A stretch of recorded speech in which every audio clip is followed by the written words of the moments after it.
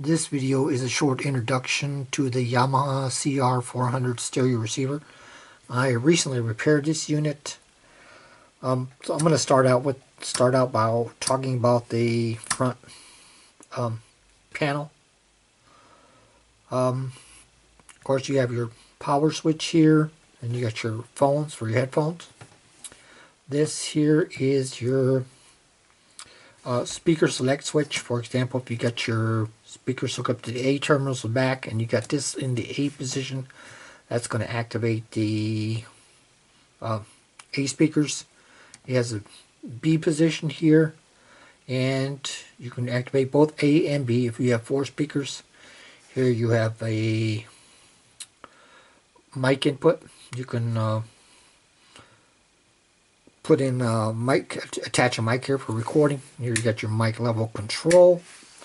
And here is your this thing here. This is for the tuner. That's a signal strength meter. And that shows you basically the strength of the the AM or FM station being received.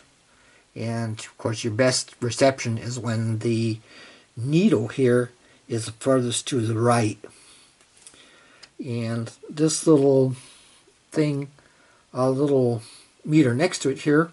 That's a tuning meter and that shows you if it's tuned correctly.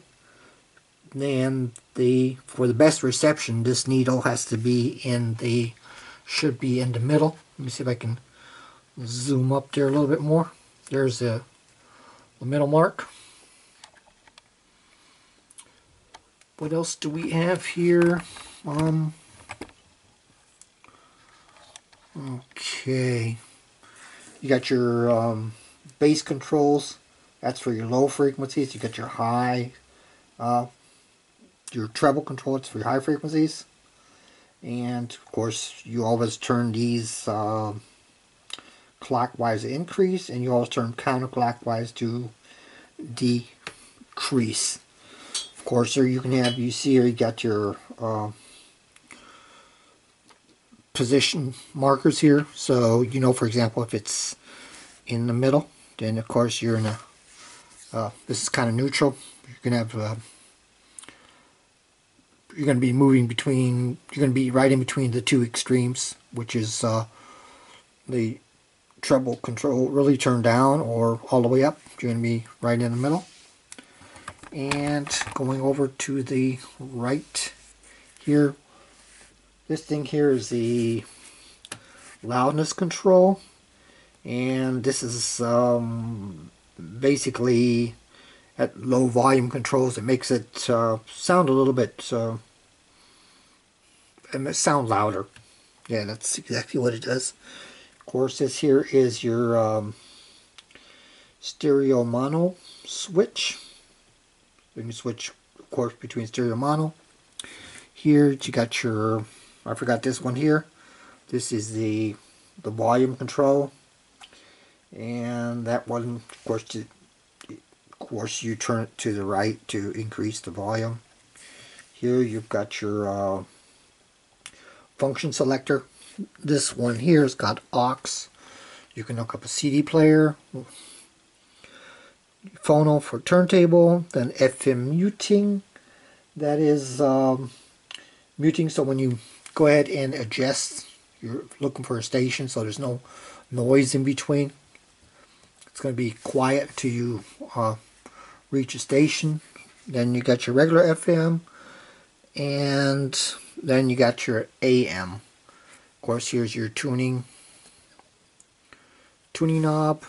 Um, course, that's a power LED and uh, that shows you if you're getting FM stereo reception. As far as the inside here is concerned, of course this is your tuning board. Um, then right down here got your uh, preamp board. And here you got your power transformer.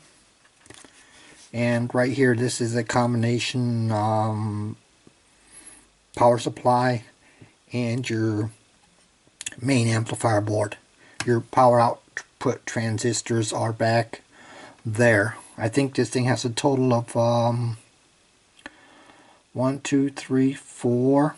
I think it has a total of um, six fuses in here.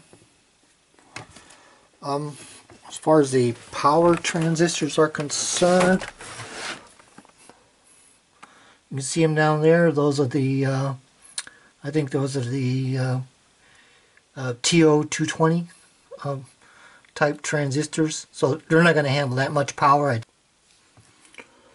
overall, I like the receiver. I think it's um, pretty, uh, I mean, it's a pretty simple unit. Um, and the as far as for example the FM reception when I hooked up a dipole antenna um, it, it, reception was really good.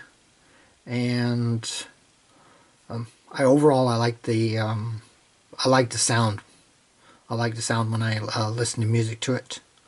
And as far as problems are concerned probably you have to if you get one of these you probably got to replace the lamps. And looks like another problem might be the uh, off and on switch. It might probably a weak point.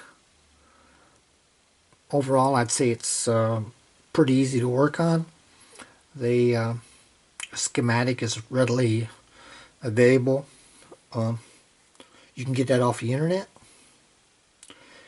And as far as the back is concerned, of course, it's got your standard uh, behind the receiver. I'm not going to turn it around now.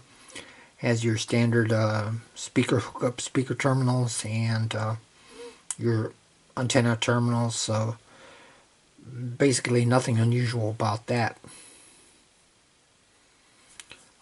There's really not much more to talk about. Well, this came with a, uh, a wood cover. I'm going to go ahead and put the cover on now. Here's how the unit looks with the wood case on. It's not, this is not press wood. Um, I think I did forget to mention one switch here, and this one here, this is the uh, source monitor switch. When you have it in a source position, you're going to hear whatever your um, your function switch is uh, turned to. And the monitor position as far as I remember if you have a tape deck hooked up you can listen to the tape deck but uh, don't quote me on that